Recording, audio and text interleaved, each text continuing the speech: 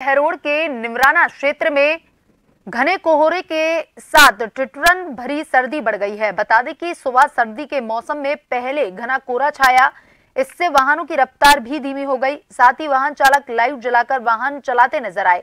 साथ ही लोग सर्दी से बचने के लिए अलाव का सहारा लेते नज़र आए।